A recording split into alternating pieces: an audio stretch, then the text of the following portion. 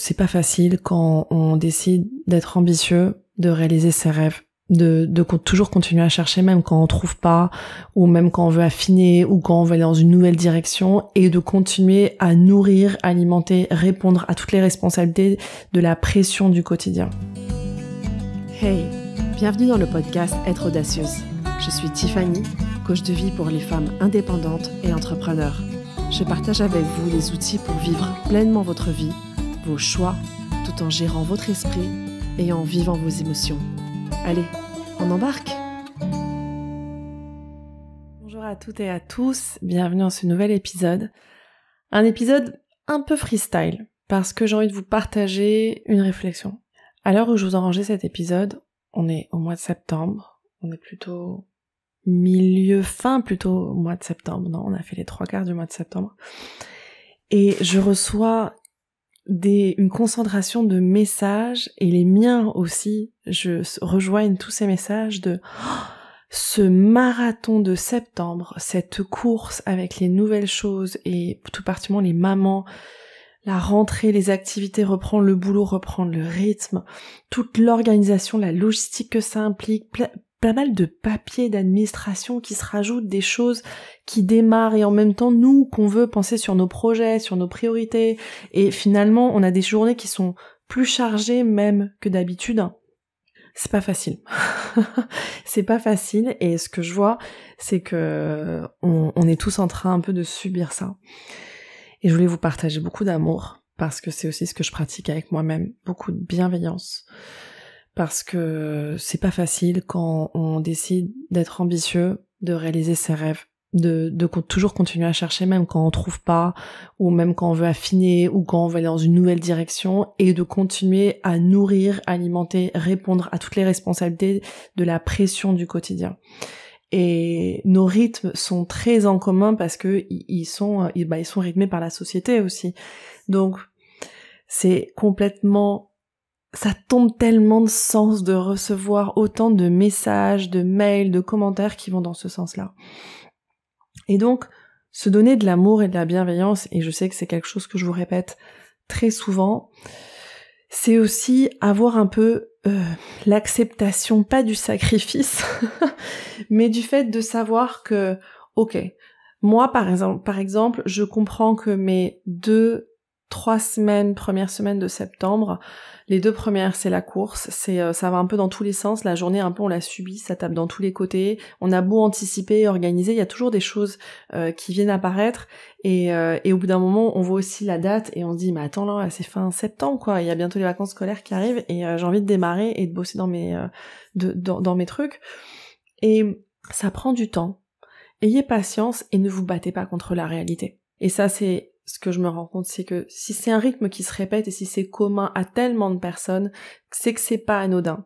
Donc bien sûr, on peut être organisé, priorisé, essayer un maximum de d'optimiser son temps, ses actions euh, et d'anticiper. Ok, d'accord, mais on n'est pas des robots, on n'est pas surhumains, et il y a toujours de l'imprévu, et il y a toujours des débordements, et en plus même ce qu'on prévoit souvent, et à la rentrée on vient avec un élan et beaucoup d'énergie des vacances ou de l'été, ce sont des, des, cycles qui sont très forts, on est avec des énergies très hautes, et parfois on se planifie aussi des choses un peu trop exigeantes, parce qu'on aussi on veut tout démarrer, ça fait, la, la rentrée c'est un peu comme le nouvel an quelque part, euh, il y, a, y a ces nouveaux élans, beaucoup d'amour beaucoup de patience et prévoyez quelque part aussi cette étape de transition, de dire oui, il y a un moment les choses vont se stabiliser et quand les choses se stabilisent, ça veut dire que notre corps commence à automatiser soit les gestes, les trajets, les logistiques, hein, toutes les nouvelles dynamiques et du coup ça, vous allez dépenser beaucoup moins d'énergie et vous allez pouvoir vous concentrer sur toutes les autres choses euh, sur lesquelles vous voulez vous cibler. Et ça, c'est valable pour tout type, cycle de votre vie. Et j'avais envie de vous partager ça et de vous donner un gros hug quand vous avez des moments de rush comme ça, de dire, ok, la vie aussi, c'est cyclique. Et acceptons ces phases-là, parce qu'il y a toujours un moment où la, la vague va redescendre quelque part, et on repart dans un rythme beaucoup plus stable. Alors je comprends et je vous entends aussi toutes les mamans qui sont peut-être un peu désespérées et sentent un peu sous l'eau et au bout du rouleau euh, à cette période de l'année. que dire oui bon c'est cool d'accepter c'est cool de comprendre mais ça change rien à mon quotidien et euh, et ça part dans tous les sens. Euh, il y a peut-être déjà des petits qui sont malades. Vous qui êtes malade moi personnellement je suis malade. On est déjà passé par l'époque des poux et de la gastro. On n'a même pas fini le mois de septembre comme je vous disais. Et c'est là où prend tout son sens le kit de survie quelque part et je vous en ai parlé dans beaucoup plus d'épisodes et le fait de prendre soin de vous et le fait d'avoir des activités pour vous nourrir et pour vous ressourcer. Et je sais que c'est encore beaucoup plus difficile de le faire dans des périodes de rush où on a l'impression de courir un marathon. C'est hyper difficile de se prendre 45 minutes, 1 heure, 30 minutes pour soi parce que euh, bah, le linge c'est prioritaire, les courses c'est prioritaire, les inscriptions c'est prioritaire, les enfants c'est prioritaire, le taf c'est prioritaire, les deadlines, les autres. Et c'est vrai que aller marcher une heure en soi, bah ça va pas vous changer votre vie, ça va pas solutionner les problèmes. Mais par contre, avoir un rendez-vous avec vous quotidien, que ce soit de 30 minutes, comme je vous dis, par exemple, marcher, lire, faire quelque chose qui vous, on, s'en fout ce que vous faites, mais faites quelque chose qui vous nourrit, ça va vous aider à réguler votre système nerveux. Et là, dans ces périodes-là, on a besoin de vous. Vos projets ont besoin de vous, vos gamins ont besoin de vous, votre entourage a besoin de vous, le monde en gros a besoin de vous.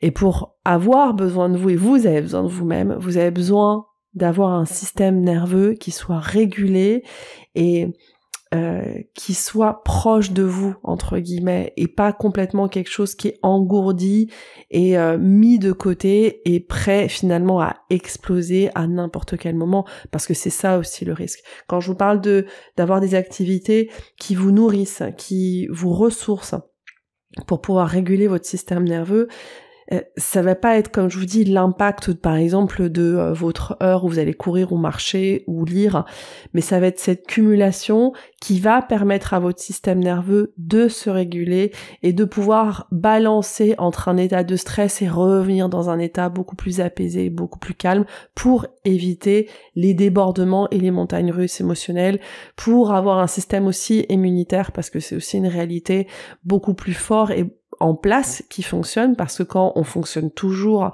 avec un niveau de stress récurrent, bah, notre système immunitaire il est très vite à plat parce qu'on invite un état inflammatoire dans notre corps. C'est pas une formule magique qui va vous empêcher d'être stressé, vous empêcher de tomber malade, euh, mais c'est ce qui va vous aider et ce qui va pallier finalement le manque de temps et le manque d'espace que vous avez pour vous-même. Essayez un maximum de vous mettre en priorité pour pouvoir fonctionner, pour pouvoir passer cette phase de transition, pour pouvoir passer, on va dire, de l'autre côté quand le rythme va être plus stable, que les choses vont reprendre forme et que votre corps va être adapté finalement progressivement à cette nouvelle cadence. Et même si ça vous paraît loin, l'été, il est encore proche. Vos vacances et cette référence peut-être que vous aviez où il y avait un rythme beaucoup plus finalement doux, apaisant, naturel, vous étiez beaucoup plus disponible. Il est pas loin, même si on a l'impression que ça fait cinq mois qu'on a repris le rythme. Mais votre corps a cette mémoire. Donc si vous invitez au quotidien un petit espace pour prendre soin de vous, votre corps va avoir cette euh, référence et cette mémoire fraîche pour pouvoir amener un peu de calme, un peu de tranquillité, un peu d'apaisement dans ce marathon de septembre. Écrivez-moi après cet épisode si vous avez besoin un peu que je vous partage de la bienveillance aussi, parce que je sais que c'est pas facile. Je vois les messages, je vois même sur les réseaux des petites vidéos rigolotes qui vont dans ce sens-là. On est tous ensemble quelque part. On vit, on est beaucoup à vivre cette même période. Donc, continuons à avancer, prenons soin de nous et ayons conscience que le rythme petit à petit prend forme. Les choses trouvent leur place. C'est une période de transition. Et je vais vous partager un épisode aussi où je vais vous parler des périodes de transition. Accepter ce passage, accepter le travail du temps avec patience et je vous transmets beaucoup de courage. On se parle la semaine prochaine. Mon podcast vous plaît? Abonnez-vous pour ne manquer aucun épisode. Partagez-le avec vos proches et soutenez-moi en laissant un avis 5 étoiles sur la plateforme que vous utilisez. Mille merci. Et si vous voulez bénéficier d'un accompagnement, je vous invite à vous rendre sur mon site internet tiffanymaquet.com. Vous pourrez réserver une session gratuite de coaching avec moi, mais vous trouverez aussi l'information sur mon programme pour les femmes entrepreneurs qui veulent lever leurs barrières limitantes pour atteindre leur objectif. Alors à très bientôt